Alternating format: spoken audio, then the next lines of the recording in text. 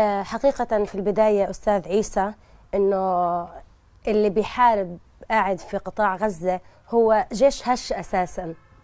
هو جيش من أقلية إجوا على قطاع غزة وعلى فلسطين بعد محرقة الهولوكوست اللي هم تعرضوا لها فاساسا هم بدايتهم كانت يعني تعتبر محرقة بالنسبة لهم. فلموهم بريطانيا وجابوهم عندنا هون على فلسطين.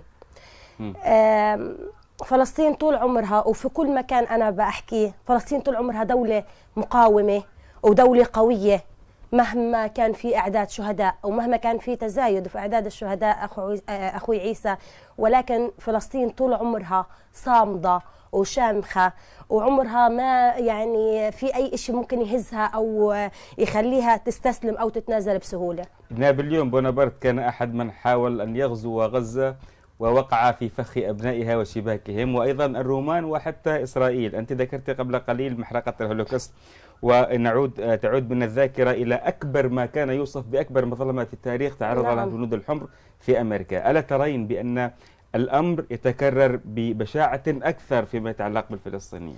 آه لأنه هم لو طلعوا وواجهوا دولة زي مثلا دولة روسيا أو دولة أمريكا أو ألمانيا م. نقول مش مش هيقدروا يواجهوا مش هيقدروا يتحملوا. ولكن هم كل قوتهم المزعومة واللي يعني بدعم من أمريكا كلها على ناس عزل أطفال عزل ناس أبرياء. ما لهم علاقة بأي شيء غير انهم أبرياء غير انهم أبناء غزة.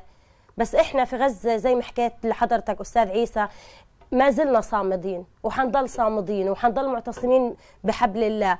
يوميا نرى ازدياد كبير في أعداد الشهداء 70% من أعداد الشهداء لحتى الآن من جلهم من الأطفال ومن النساء. يعني كلهم أولاد صغار.